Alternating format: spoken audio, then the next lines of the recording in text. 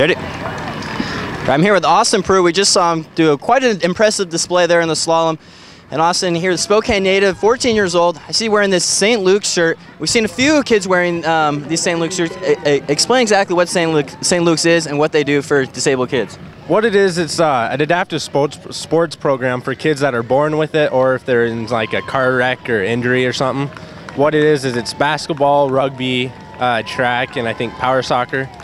And it's basically just a different way for other people to compete with a disability or something. Okay, we just decided to get done with the slalom course. This is your first Kids Day event. What do you think of it so far? It's pretty cool, you know, find out different people that haven't heard about the team, maybe get some new people out there next year for basketball, even track, maybe. And uh, so you mentioned some of those sports St. Luke's offers. Which one is your favorite?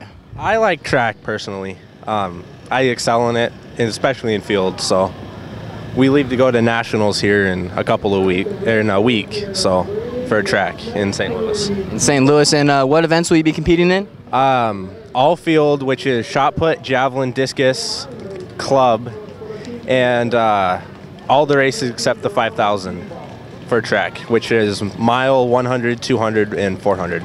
Looks like you got quite the playful events. Is there a certain one you're most looking forward to? I want to do the mile. The mile? The mile. That's, I don't know why, I just like the mile. And what have you been doing to train for that? I have been working on my starts and I've been doing long distance training. Right, well, thanks for joining us, Austin, and quite impressive moves there on the slalom, part of St. Luke's here in Spokane. We'll have some more interviews and more events coming up next here on xable.com.